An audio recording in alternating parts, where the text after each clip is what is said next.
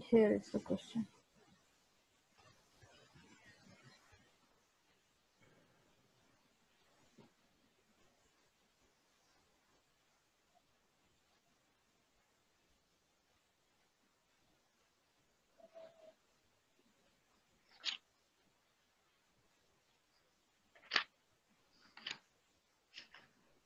Someone is going through the pages. Yes, sing notes.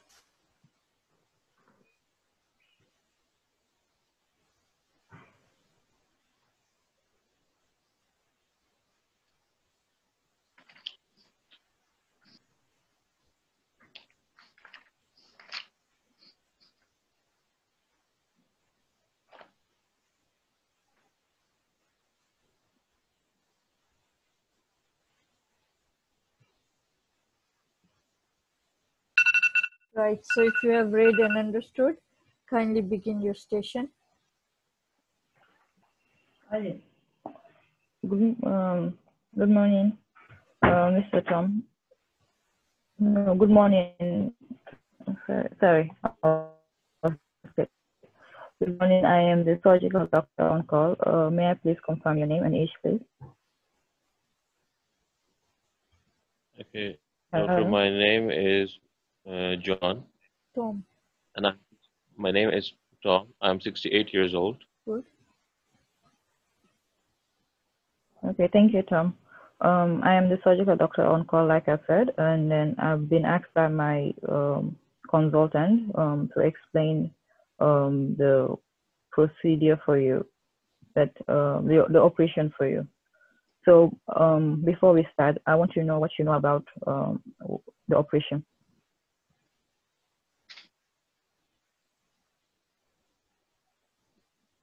Yes, Hello? Hello. yes, explain uh, if you can.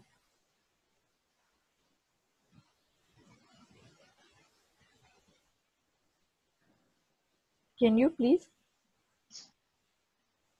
Hello. Yes. Can you hear? Me? Yes, please. Can you explain how much you know about your procedure? Okay. Well, uh, um, as far as I know, I have a tumor in my brain, and for this, I have Okay. been advised for a surgery. Seem to be. Okay. Okay, doctor.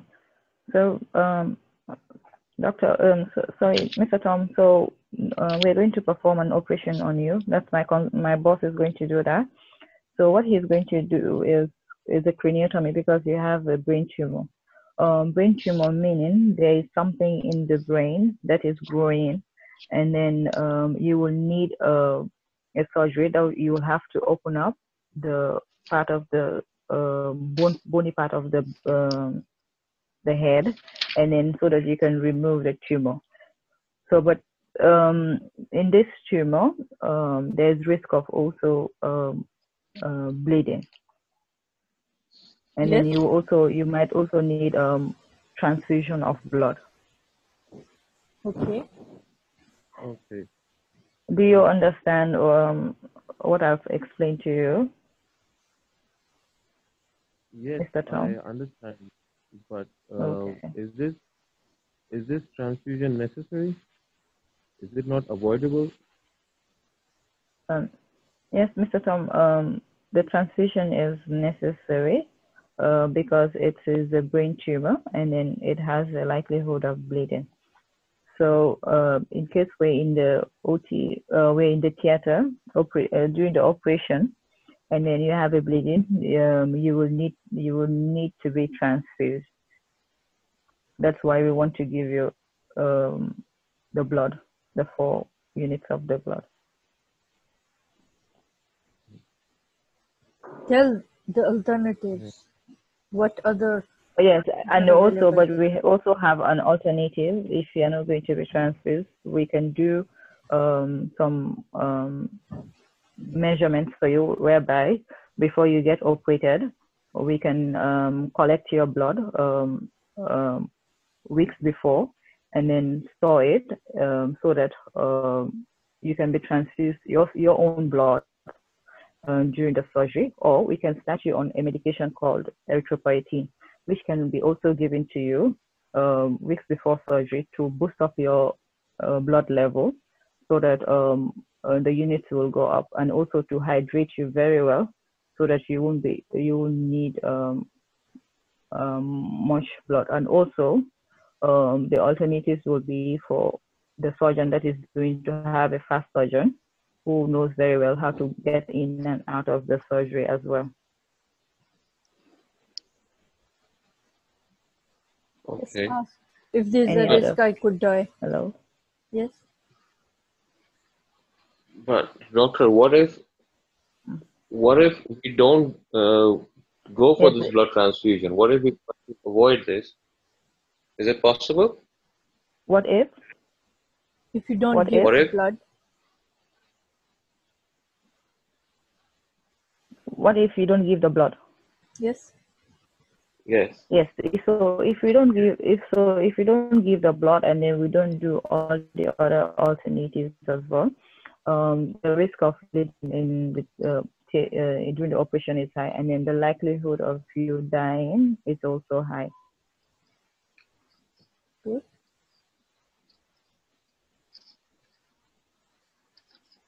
Yes. Next Any other concern? Can you please explain what uh, possible complications can happen if I agree for this blood transfusion? So um, the blood transfusion, you can have uh, immediate complications and then late complication. The immediate complications, whereby you can react to the blood, whereby you can um, have hemolysis, whereby which is breaking down of your blood cells, and then you can have your um, AB, um, the how do you call it? You, your antibodies and then the antigen, um, um, which are they will be fighting. So it's like you have a reaction. Let me just say it that way. You have a reaction in which that you can go into shock and then you can also die. And then um, you can also have your organs being damaged because of complications of blood transfusion.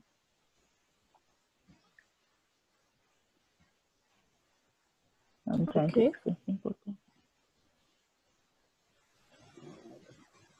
Any other concern about the blood transfusion? These are these are parts of the complications, but there are benefits as well.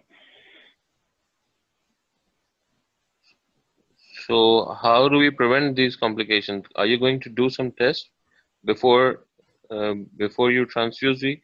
Because this can actually cost me my life.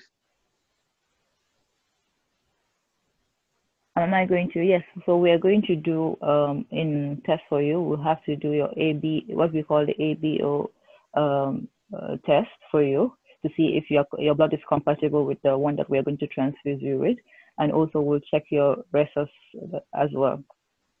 So we'll have to cross cross check all the all that. So um, do you understand what I've explained from the beginning? About Yes, uh, the blood transfusion and then if you have agreed to it Yes, doctor. I I understand. Uh, thank you very much for explaining it to me. And I agree Yes, uh, transfusions. Yes. okay okay um, mr tom therefore will will um, i have confirmed that you have uh, you have understood everything and then i'll put it in the notes as well and then i'll inform um, everyone involved in the surgery that you have agreed to be transfused um, if necessary Good. Good, Dr. Alright. Fatimata. This was like your first time, but still, uh, see if you'll practice, you can do it better. Both of you. Here, problem was that this was Jehovah's Witness, okay, and Jehovah's Witness once they refuse a blood transfusion, yes because of religious yes. it's because of religious reasons and you don't convince patient to have blood transfusion. Like you give them alternative that okay we will and the one alternative that you Yes. give if we don't give that for uh, cancer cell salvager we don't do that for tumors because seedlings you know you can't take the blood of a cancer patient and Yes. give the same Mhm. blood to the patient because it can cause seed, seedlings yes of the tumor of the cancer so that option you should Mhm. obsolete that you should not offer at all but all the others Okay. offers uh, the options that you offer erythropoietin and all the others even hydration it was excellent it was good but then at the end you should have con- Mm. you should have uh, made a promise or commitment that okay i'll write it down everywhere. No matter what no one will uh, transfuse you any blood. We respect your decision. And like it was like it's a holy thing. You have to respect someone's religious beliefs and you have to make commitment Yeah. accordingly. Because you are explaining everything to the patient patient still says no i'm sorry i still cannot take the blood transfusion uh, i'll say But, yes to other alternatives and then you can say okay we'll because hemoglobin is also low.